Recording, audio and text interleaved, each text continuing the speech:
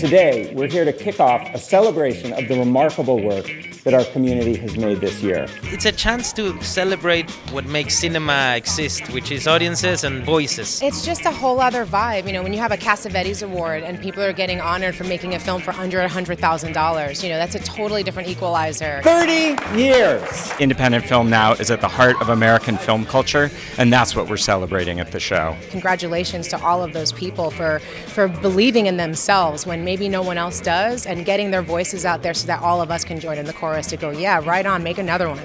And remember, only Film Independent members vote for the winners of the Spirit Awards. So to become a member, visit filmindependent.org and join today.